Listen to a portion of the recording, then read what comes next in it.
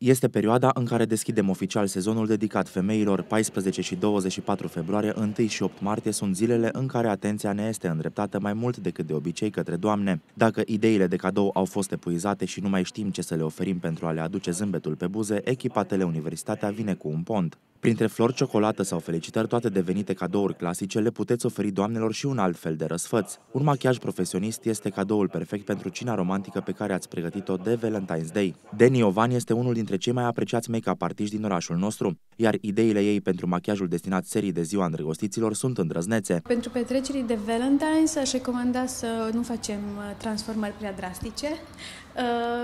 Uh, Tendințele, tendințele uh, de anul acesta, în 2019, este un ten, uh, se întorc anii 90. E tenul acesta mat, doar un pic, un pic de highlight și uh, pielea foarte proaspătă, bine hidratată, uh, un mare accent se pune pe highlight. Bine, asta e și că e o preferință personală, îmi place foarte mult, dar schimbă foarte mult, uh, schimbă și atitudinea. Deni și-a descoperit pasiunea la vârsta de 16 ani, iar de atunci s-a perfecționat în arta machiajului. Am avut 16 ani, uh, am început să machiez niște prietene la teatru, uh, erau balerine și nu aveau make-up artist.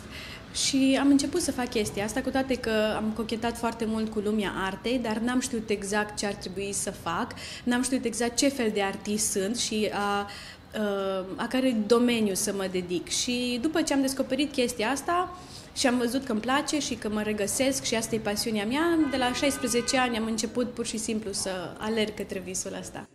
Clientele care trec pragul studioului de machiaj așteaptă cu nerăbdare petrecerile la care vor participa în perioada următoare. În principiu recomand persoanelor care ies în oraș, de exemplu la un party, un club, orice, consider că este un machiaj pentru persoanele îndrăznețe care știu să le poarte și este un lucru interesant.